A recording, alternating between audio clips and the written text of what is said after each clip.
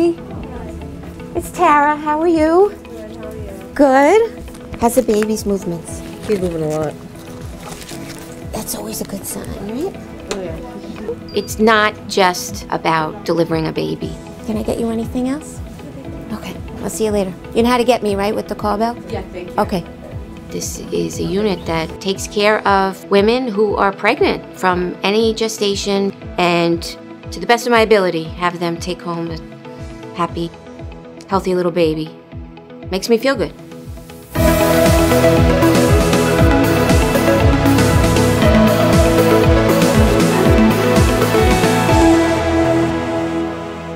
Delivery services have been offered at Melrose Wakefield Hospital ever since the inception of the hospital in 1893. Moms keep coming back because of all the great services that we provide, and they just feel like they're able to stay home, stay in their community, and get good quality care. This is where their families are born and this is where their families begin. So that then when they come back to have their second child and their third child, they're seeing the same nurses again. That's meaningful for them. The renovations now have really brought it to another level because not only are the rooms comfortable and give you that spa-like or boutique hotel feel, but it also has all of the equipment in the room readily available but hidden from sight.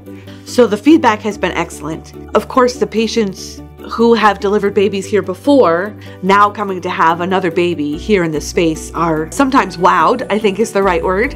Having which baby? Number one? Three. Number three. Number three. That's awesome. What do you have at home? I have a boy and a girl already. Having another boy. And you did you have those babies here? Yeah.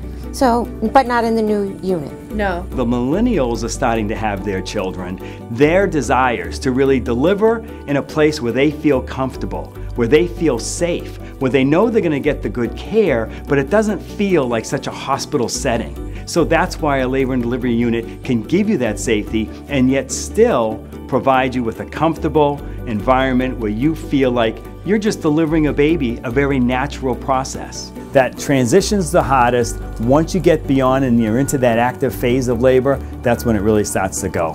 Things start to move fast. Everything's been evolving, whether it's been specialized operating rooms in order to perform cesarean sections, or even if it's now doing VBACs again, or even offering different ways that we can even help moms with their pain management during labor and delivery. We have a special care nursery that's a level two, which allows us to provide care for babies born prematurely. Could be a baby who's struggling after delivery, could be a baby who's struggling to transition to life outside. It's a team of nurses who work hand in hand with the neonatology team from Tufts Medical Center. Using their specialized newborn physicians, their neonatologists, has been something this hospital has treasured for many years. And being baby friendly has made a great difference to all of the services in maternity because we all focus on how to keep that baby the healthiest. The people who live in Melrose have had their babies here and now their babies have babies here. And so we see that from time to time the generation, the crossing of generations. I have a nine year old boy, and I chose to deliver right here. I was well taken care of, which I never doubted.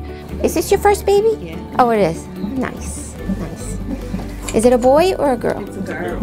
Does she have a name? Are we telling anybody or no? Some people don't like to say. No, her name is Valentina. Oh, that's so nice. Patients have told me that they feel like it's more personal here than a bigger, maybe city hospital, like a family atmosphere. And I feel that way as a staff member.